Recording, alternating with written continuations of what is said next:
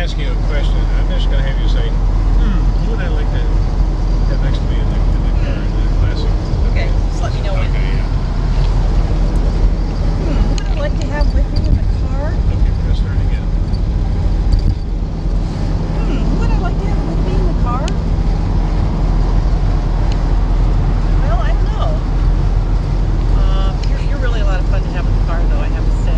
Well, thank you. But I, I appreciate think, it. no, really, great to travel with. I would, you know, other than, you know, another one would be fun to have in the back seat talking or actually driving would be Jay Leno because he would be hysterical and he's a great car guy. But I think as far as history